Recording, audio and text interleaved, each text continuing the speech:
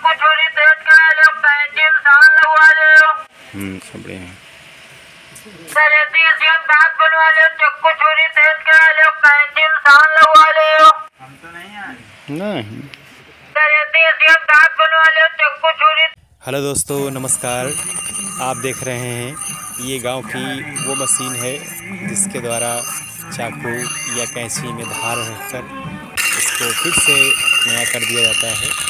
मात्र पाँच रुपये में।